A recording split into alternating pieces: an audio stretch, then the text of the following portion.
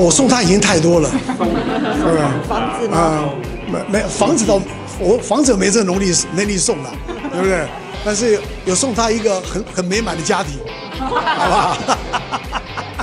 那徐新阳呢，很节俭，嗯，所以他说不要用花太多的钱在这个花艺上面，啊，那大概也是也是也大概两三百吧，我想，嗯，其实我我请的没有太多啦，那因为像方芳芳还有胡瓜哥，哦，都是我应该讲就是我转入主持的，应应该讲两个提醒我的，啊，曾国成也会来，对。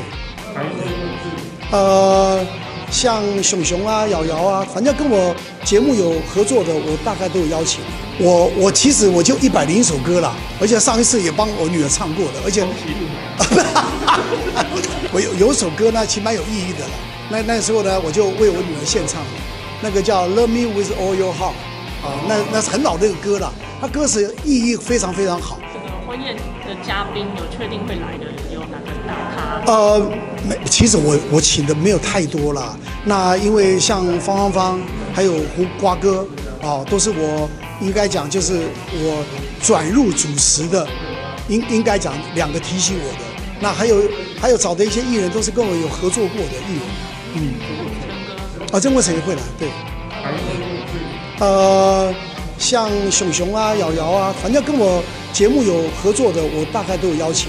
总共是三十六桌，三十六桌，嗯，艺人多两桌，艺人大概连徐新阳的大概三三三三四桌吧，嗯，他都亲对，大家都有我的朋友，哎，有商界老板，呃，我我我没有这方面的人脉，你帮我介绍。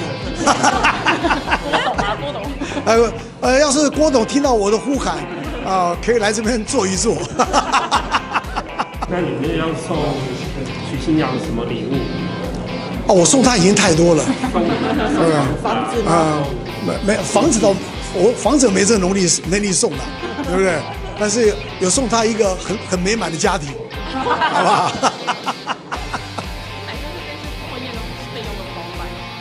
呃，基本上我我我我当然要要做尽负起一点责任嘛，啊，那那他们能够自己 cover 的，那他们自己 cover，呃，那嗯爸爸做不到的，那也只有他们自己想办法。不会啦，我我当然还是会帮他们很多啦，应该的嘛。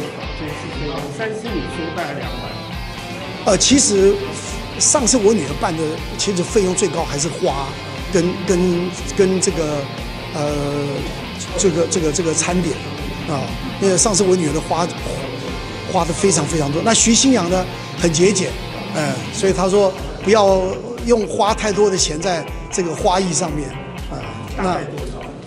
大概也是也是也大概两三百吧，我想，嗯。